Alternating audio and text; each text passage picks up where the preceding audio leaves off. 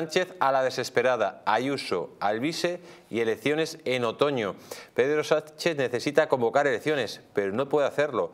Lo necesita porque la situación del gobierno es de parálisis total y porque varios casos de presunta corrupción que le acechan crecen sin parar y le complican la existencia.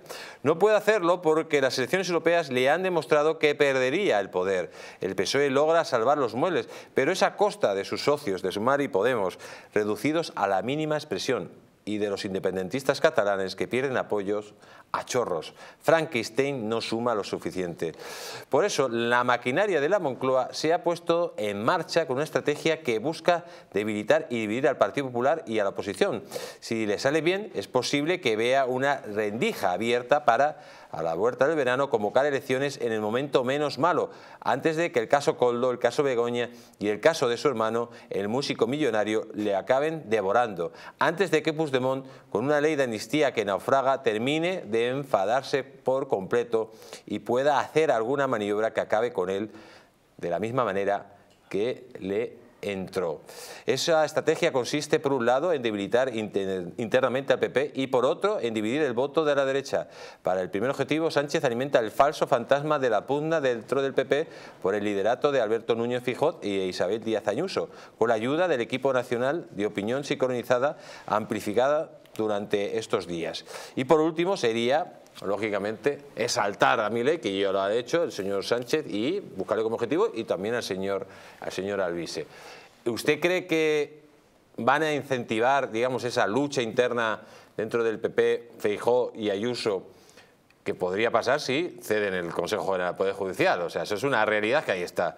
Y luego, lógicamente, eh, engrandecer la figura del señor Alvise, incluso dijo el señor Alcina que el señor Alvise, eh, el señor Sánchez estaba buscando que Alvise ocupara un puesto en una tertulia de máximo nivel de una televisión nacional para eh, su imagen, lógicamente que llegara a lo máximo posible para dividir ese voto de la derecha.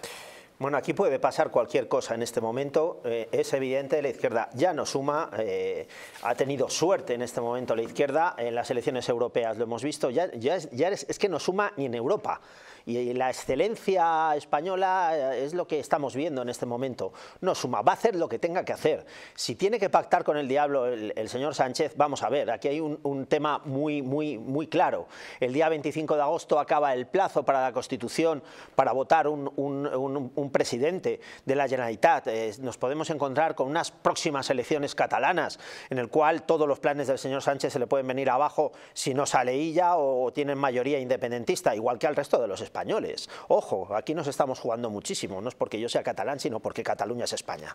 el, problema, el problema está en que el señor Sánchez va a hacer todo lo que pueda hacer para mantenerse en el poder. Y esto ya lo estamos viendo. El golpe de Estado continúa. Empezó y continúa. Y no se va a parar. El hecho de pactar con secesionistas, con terroristas, con gente que quiere malversar y con gente que quiere acabar, no pasa nada más que posiblemente debilitar absolutamente al otro bloque, incluso dividirlo.